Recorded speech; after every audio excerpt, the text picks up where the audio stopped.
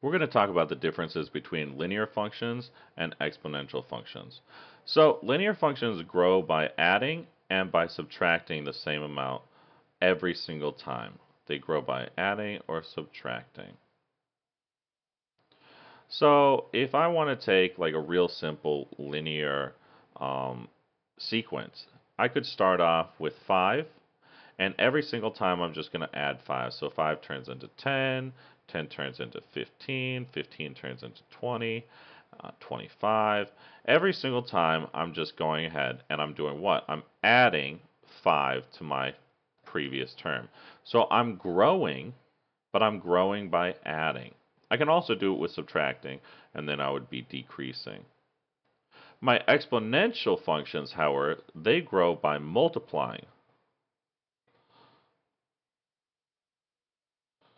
Or by dividing.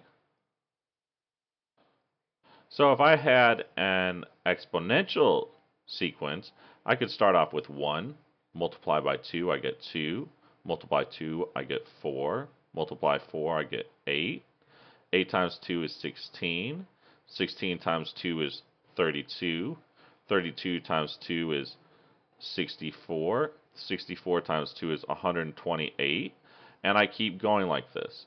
Now you can see that every single time I'm what? I'm multiplying by 2 in this sequence. And I start to grow faster and faster and faster. The equation that I use in linear sequences is the one that we've used many times. So my equation is going to be y equals mx plus b. This one's pretty basic. My m and my b we already know. M is the changing amount. And it's also known as my slope. B is the starting amount in most stories. And it's my y-intercept.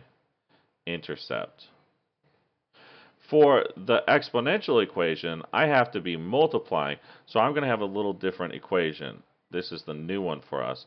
It's going to be a d to the x. And this guy is what I'm multiplying by every single time. So a now is my starting amount. And d is the changing multiplier. All right, the starting amount is still my y-intercept, but this changing multiplier is not the slope. All right, so we have to we have to be worried about that. If I have a graph, so if I'm on my graph here, we can see that a linear graph has a nice straight line. My line is always going this way. He'll always continue to go this way. If I'm going down, he's always going this way. I have a nice y-intercept right there. My line is flat and straight. It never changes. I'm always adding the same amount each time. But an exponential function, it starts going faster and faster. Here I have 16, then 32, then 64. Before I know it, I'm in my hundreds. I'm growing, going to go growing faster and faster and faster. Same with my graph. I start going slowly, slowly, slowly, slowly, but now I'm going faster and faster and faster and faster. I'm going to start going up and up and up and up and up and up and up. So my exponential graph has this curve and it goes steeper and steeper and steeper, meaning my slope changes.